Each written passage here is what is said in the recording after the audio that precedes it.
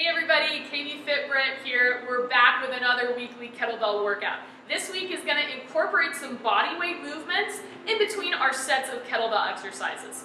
Each exercise is gonna have a minute set, or one minute per side if it's a single arm movement, and you're gonna be using your pendulum type swing as this is gonna be more of an endurance based uh, set because they're one minute long. So Enjoy these body weight exercises mixed in some endurance-based kettlebell work. You'll get a great combination of both building up some strength and working on that cardiovascular endurance. Enjoy. Please leave a comment below and let me know how you like the workout.